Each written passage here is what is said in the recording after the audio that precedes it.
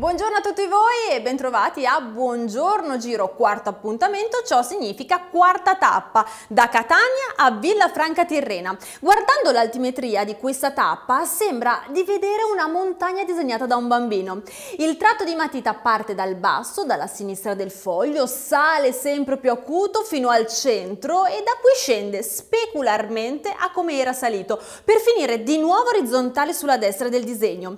Dopo le fatiche di ieri tutto tutto fa pensare che la tappa di oggi finisca in volata con l'interludio di una fuga in mezzo.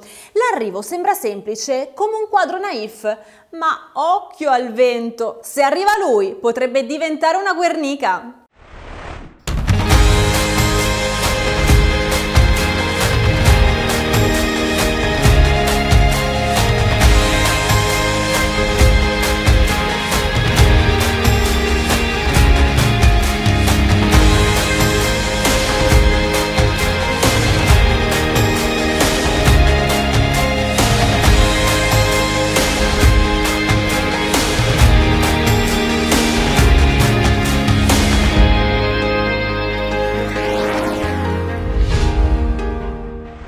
E questa è un'altra cartolina meravigliosa. Intanto noi vi ricordiamo che Catania sarà sede di partenza di tappa per la dodicesima volta nella storia. Villafranca Tirrena invece è sede d'arrivo per la prima volta.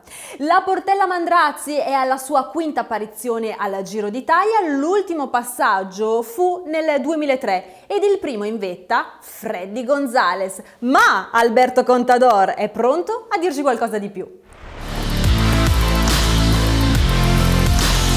Quarta de, del Giro d'Italia, una tappa per me un po' di transizione, ma che tendrà um, molto interesse perché tendremo che guardare che velocisti è capace di superare salita che sta a metà di tappa. Eh, penso che può essere una tappa molto propizia perché qualcuna squadra che tenga un velocista pone un tempo forte in questa salita per arrivare da solo con più opzioni per la vittoria di tappa.